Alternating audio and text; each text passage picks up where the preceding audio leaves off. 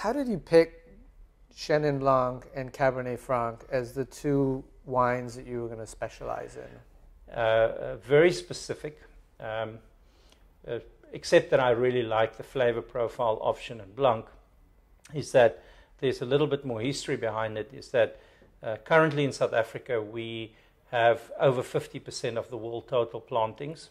Um, with one of the first varieties that was planted in, in su- southern Africa.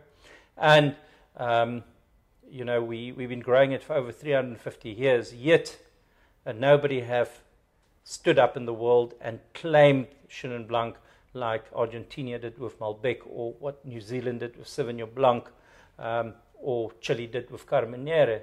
So uh, um, there was something left that we had a lot of that we've been growing for a long time that we know was suited to our conditions and that we knew we could consistently produce at a very high quality level and that was Chenin Blanc. So Chenin Blanc the motivation was that we could have gone out and set the benchmark of what Chenin Blanc tastes like in the world.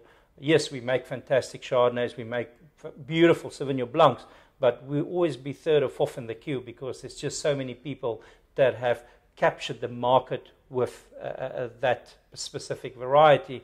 Um, yet we have the opportunity to say, here's Chenin Blanc, this is what it tastes like, and we could set our own benchmark on what people's perception of Chenin Blanc uh, could be. And is there a lot of diversity in the different styles that people make Chenin Blanc with? Or? Uh, I, I, think that that answer goes to Southern Africa.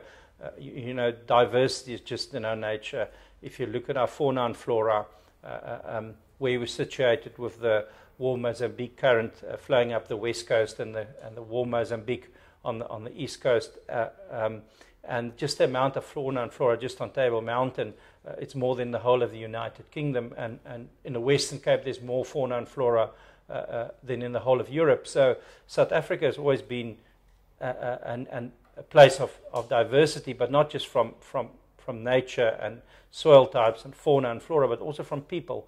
Um, and I think that reflects in our wines and the styles that we make. We we got such a diverse cultures and and and uh, all the people that came to the southern tip of Africa and how we melted and and sort of uh, uh with each other. Um, I think that that diversity will always be part of what we have to offer to the rest of the world. What is the what is a greater upset?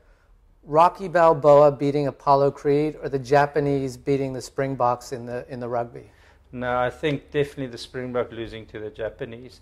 Uh, the next day, I just ate the Springbok nigiri for breakfast, uh, uh, uh, drank a lot of sake, and then we have to move on. But it's very hard. Luckily, we beat Samoa with, with uh, almost 40 points. Uh, so the, the, the, the next day was not, the, or the next game was actually quite good. But um, on the other hand, uh, I think uh, for Japan it's very good, and seeing that they're going to host the next World Cup, uh, it might just give them a good boost uh, uh, in confidence. Um, so, although it's really painful, but well done for Japan that they actually beat us. Fantastic. Thank you very yeah. much.